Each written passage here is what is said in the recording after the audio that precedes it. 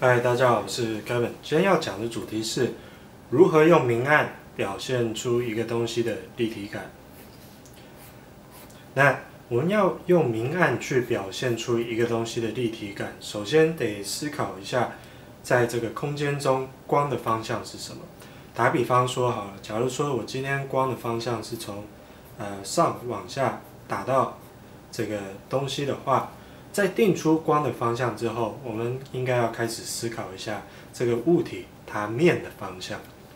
那呃，打个比方说，这个物体它这个面当然是自然是朝上的，这一面是朝斜上方，这个面是朝侧方。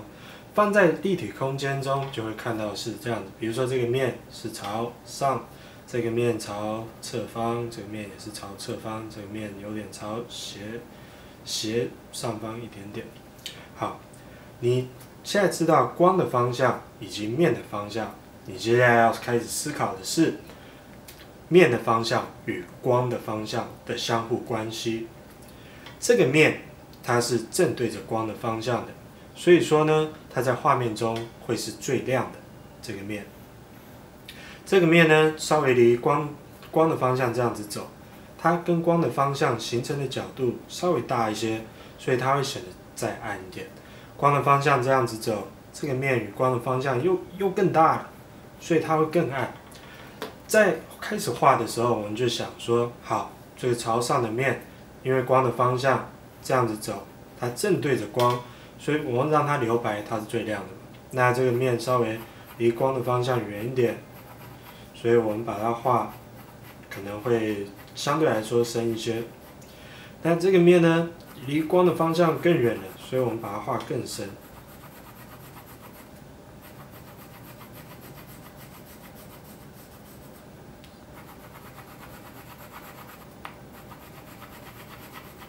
那以说一个面跟光的方向的相互关系来说的话，哈，我们可以看一下，光这样子走，这个面的方向是这样子走。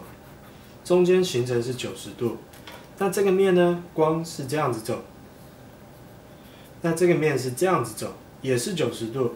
既然它跟光的相互关系是一样的，这个面也会是一样深，所以我们把它也画一样深。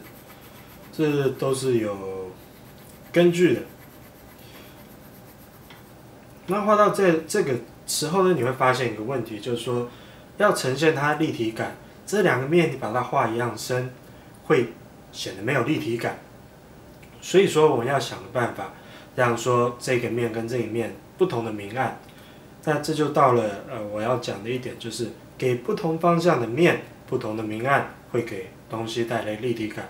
那我就打个比方说好了，我们在这里再开一个光源，相对来说小微弱一点的光源，所以让这里会显得比这里亮，呃。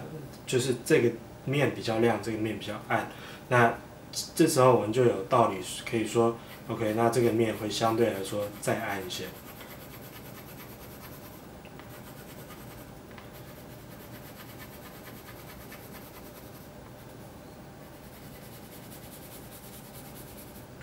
这样子看才看得出来说，OK，这两个的确是很不同的面，那它的面相大概是。